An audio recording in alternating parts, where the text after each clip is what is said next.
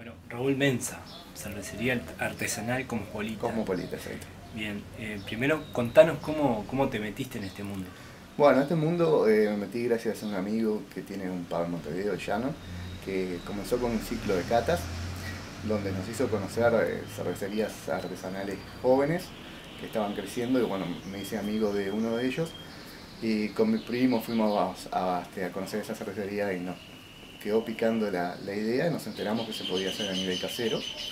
Y bueno, nos empezamos a meter, leyendo en internet, estudiando y arrancamos este, en el año 2010, a fines del 2010, eh, con esto.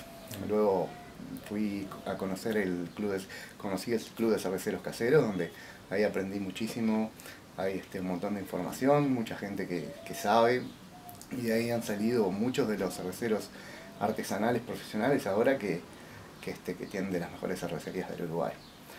Eh, bueno, después de eso, este, un poco me, me, quise capacitar más, hice cursos en Argentina, hice cursos acá, siempre que venía alguna persona que, este, que podía aportar algo, para cursos de, de, de degustación, eh, siempre estaba tratando de, este, profesionalizarme.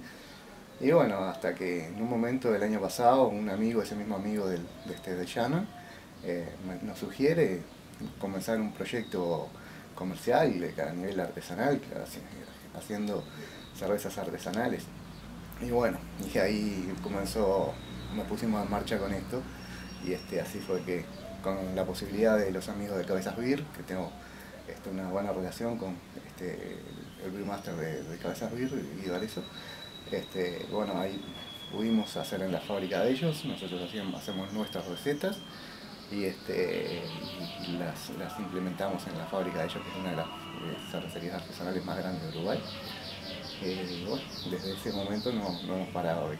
Por ahora no está, no está yendo bien. ¿Cosmopolita por qué?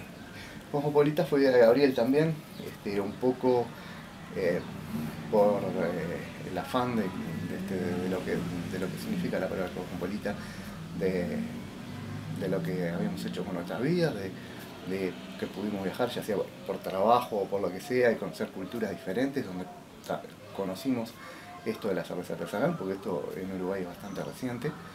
Y bueno, todas esas, cosas que nos trajimos de afuera con respecto a la cerveza y las ganas de, de poder probar, de gustar y, este, y además eh, ahora crear esas, esas, mismas cosas que pudimos este, ver en otros países.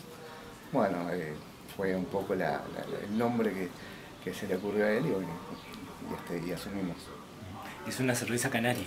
¿no? Es una cerveza de canelones que, se, como te decía, se hace en la fábrica de Cabezas Beer, pero ahora los, todos los socios somos, este, somos de, de Canelones o Santa Lucía, o sea que, que, es una cerveza del departamento.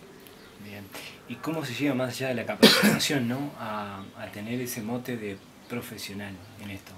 Eh, es, es, un tema, es un tema complicado primero que nada, capacitarse, pero acá no existen lo, los cursos, eh, por ejemplo, una de, las eh, una de, las cosas fundamentales que tiene una cervecería artesanal es un Master. Eh, acá no existe ese curso, eh, acá podés hacer otros tipos de cursos que no son tan completos. Eso, por ejemplo, en Europa, en España, eso es, es, una carrera. Acá en Uruguay no ha llegado, se está, se está yendo a eso, se está empezando a hacer en las universidades cursos de cervecería, pero todavía no llegamos. Entonces, bueno, lo que somos todo un poco es autodidactas y hemos aprendido lo que, lo que hemos podido. Eh, somos maestros no somos maestros cerveceros titulados, pero eh, la mayoría de los eh, cerveceros, eh, de, los brewmasters de, de la cervecería de acá están en las mismas condiciones. Pero pues, es un tema por lo que te comentaba. Acá todavía no está instaurado eso y no tenemos la carrera. Pero se está empezando a...